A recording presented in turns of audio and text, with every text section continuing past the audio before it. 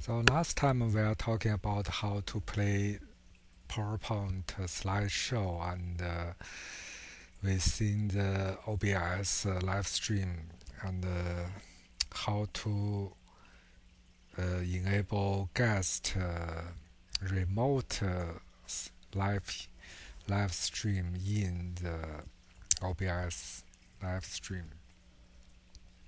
This time we, I will show you how to disable preview and enable it. Actually there is a button said studio mode. When you click that, you will disable the preview and when you click that again, it will enable the preview.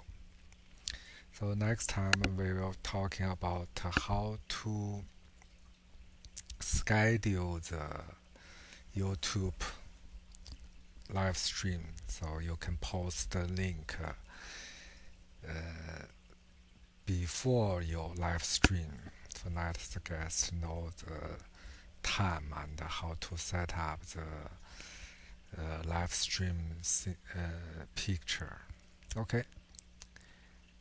Bye bye.